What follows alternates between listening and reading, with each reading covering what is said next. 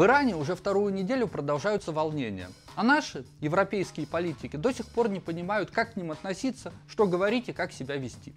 В Иране все началось с протестов против повышения цен на продукты, к которым очень быстро прибавились политические лозунги.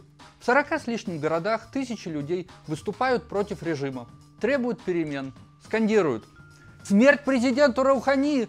Смерть Италия Хаминеи! Даешь республику, даешь шаха, долой коррупцию, долой хиджаб!»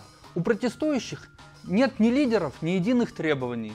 Против режима выступают и консервативные религиозные бедняки из провинции, и прогрессивная светская интеллигенция из столицы. У них очень разные представления о том, какой должна стать их страна. Но полиция и спецслужбы стреляют и в тех, и в других без разбора. Власти обвиняют во всем Запад. Но не могут же люди в самом деле быть чем-то недовольны сами по себе, а не по наущению врагов. Но при этом идут на некоторые уступки. Интересно, что и у иранских граждан, и у западных стран претензии к иранскому режиму более или менее одинаковые. Очень многие иранцы недовольны, что люди в Иране живут все беднее, экономическое положение ухудшается, цены растут, а власти тратят деньги на вооружение, поддержку сирийского президента Асада и разных антиизраильских группировок. Люди не готовы и дальше мириться с ограничениями личных свобод. В Иране официально запрещены алкоголь и танцы, Действует строгий дресс-код, особенно для женщин. Сексуальная жизнь регламентируется под страхом жестоких наказаний.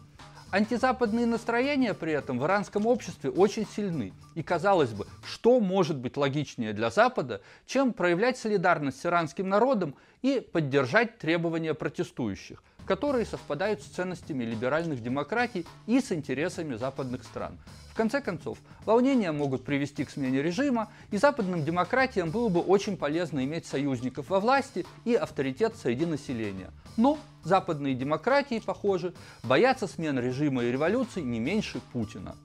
Демократы по большей части молчат, а популисты, например, из АФД, так и вообще выступают в поддержку исламистского режима, а то вдруг в Иране случится гражданская война и к нам в Германию потянутся беженцы. Тут хочется вспомнить несколько моментов из недавней истории.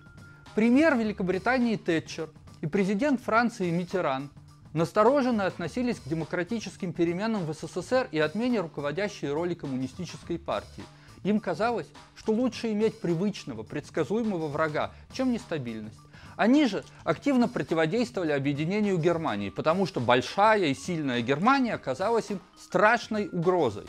А граждане бывшего СССР, когда получили свободу путешествовать, вдруг обнаружили, что в западные страны их не особенно-то и пускают. И так далее. Сегодня мы наблюдали эту фатальную беспринципность Запада в Сирии, Вместо того, чтобы поддержать общество в противостоянии режиму, а сирийская оппозиция очень на это надеялась, Запад выражал озабоченность и уступил Сирию исламистам, России, тому же Ирану, и получил в результате разрушенную страну изгоя и миллион беженцев. Теперь с Ираном Запад собирается наступить на те же грабли. Это только кажется, что Сирия и Иран это далеко и не про нас. Там, в Сирии и в Иране мы теряем себя. Мы Запад и Европа, продолжаем привлекать людей со всего мира высоким уровнем жизни и личных свобод. Но похоже, что никакого морального авторитета у нас уже не осталось.